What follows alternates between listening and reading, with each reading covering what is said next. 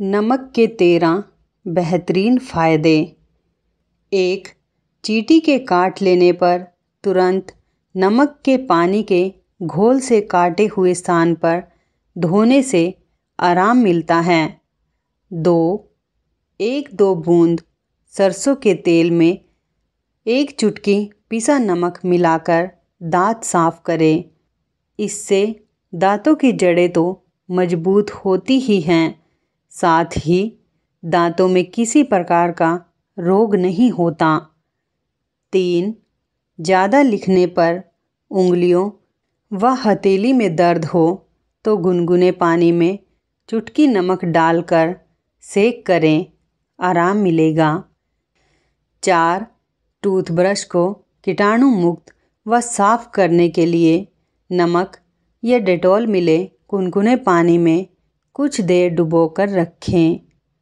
पाँच, हरी पत्तेदार सब्जियों को नमक मिले पानी से धोने से उनमें छिपे कीड़े मर जाते हैं। छः, यदि नमक में कुछ दाने मटर के डाल दिए जाएँ तो नमक पानी नहीं छोड़ता है।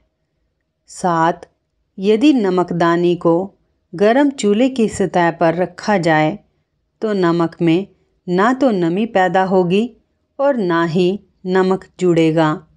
आठ, नमक में कुछ दाने कच्चे चावल के डाल दिए जाएँ तो नमक के डले नहीं बनेंगे।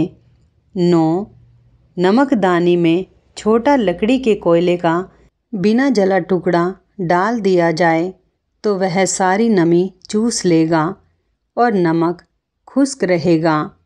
दस घर में सफ़ेदी करवाते समय चूने के घोल में थोड़ा सा नमक मिला देने से अधिक दिनों तक टिका रहता है। ग्यारह, कपड़ों में नील देने से पूर्व एक चुटकी नमक डाल दें। कपड़ों में नील के धब्बे नहीं पड़ेंगे। बारह, गुलदस्ते में नमक मिला पानी डालने से फूल ताज़े बने रहते हैं।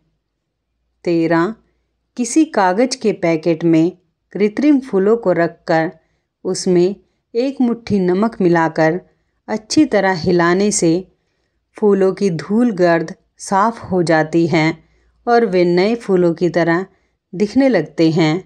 आशा करती हूँ दोस्तों, आपको आज की जानकारी अच्छी लगी होगी।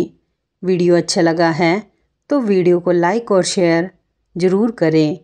और ऐसे ही यूज़फुल टिप्स के लिए हमारे चैनल को सब्सक्राइब करके बेल नोटिफिकेशन को ऑन करना ना भूलें, जिससे जब भी मैं कोई वीडियो डालूं, आपको उसकी नोटिफिकेशन सबसे पहले मिले। तो मिलते हैं दोस्तों एक नई वीडियो के साथ। तब तक के लिए अपना ख्याल रखें। वीडियो देखने के लिए धन्यवाद।